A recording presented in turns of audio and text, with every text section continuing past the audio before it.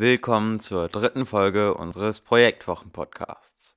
Heute wird euch Konstantin etwas über die verschiedenen Techniken des Graffiti erzählen. Ich bin Anton Seul und wünsche euch viel Spaß. Hallo, ich bin der Konstantin und rede heute über Styles und Techniken.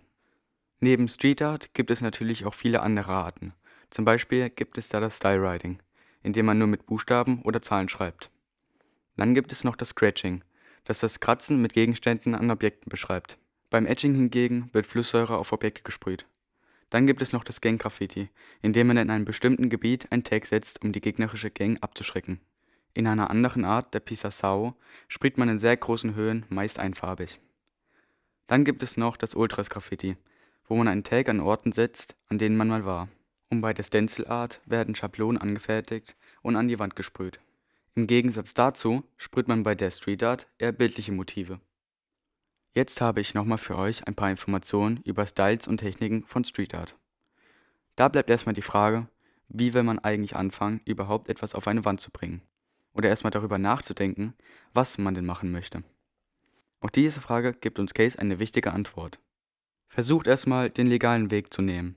Geht in kulturelle Einrichtungen wie zum Beispiel Villa K oder Museen, um einen kurzen Überblick darüber zu bekommen, was eigentlich alles möglich ist und wie so ein Gemälde aussehen kann. Im Nachhinein kann man dann versuchen, für sich selbst einen Style zu finden, indem man für sich Besonderheiten oder Auffälligkeiten am besten so aufs Blatt bekommt, dass man sich in einer eigenen Technik selbst wiedererkennen kann. Um mehr darüber zu erfahren, habe ich mit Case ein kleines Interview geführt. Generell, wenn man ähm, sprühen will, dann ist die beste Herangehensweise, wenn man in Kultureinrichtungen geht, wie zum Beispiel Villa K oder solche angebotenen Workshops wie hier an der Schule ähm, wahrnimmt, um sich erstmal mit der Materie auseinanderzusetzen, wenn man das noch nie vorher gemacht hat. Was sind so die größten Projekte, die du im Thema Street Art schon vollendet hast? Oh, ich habe sehr große Projekte schon gemacht. Das, gibt, das ist vielfältig. Also ich habe in Dubai einen Damm gemalt, ein Wasserüberlaufbecken. Nee, warte mal. Eine Überlauframpe nennt sich das, aber das ist so ähnlich wie ein Staudamm. Ähm, oder in Frankfurt am Main die Ostendstraße. Das sind zwei Tunnelanlagen von der Haltestelle Ostendstraße gemalt. Oder jetzt neulich in Bad Vilbel hatten wir sieben Künstler aus Europa eingeladen und haben eine Art Street Art Festival ähm, gemacht. Also sind vielfältig verschiedenste Arten von größeren Projekten. Äh, welche verschiedenen Styles gibt es oder kannst du empfehlen für ein möglichst ausdrucksvolles Graffiti? Ja, ich kann, also einen Stil empfiehlt man nicht. Ein Stil, entweder man hat ihn oder man hat ihn nicht. Und wenn man ihn nicht hat, dann muss man lernen oder versuchen, ihn zu finden. Wenn man ähm, genug Leidenschaft mitbringt, wird man schnell fündig. Je weniger Leidenschaft, dann dauert es ein bisschen länger. Aber wer dran bleibt, ähm, man findet ihn. Man ist schwierig zu empfehlen. Also ein Stil, Stile sind unterschiedlich wie Fingerabdrücke, weil es auch Fingerabdrücke von einem selber sind.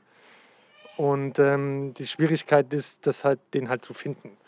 Und je nachdem, was man für Erfahrungen gesammelt hat, bereits in seinem Leben, wird der Stil dadurch auch geformt. Also es ist jetzt nichts Greifbares, es ist in einem. Ein Stil ist, was einen auszeichnet. zum Beispiel, wenn du jetzt nur noch schiefe Striche malst, kannst du sagen, ja, das hat damit zu tun, weil mein Körper eher schief ist als gerade.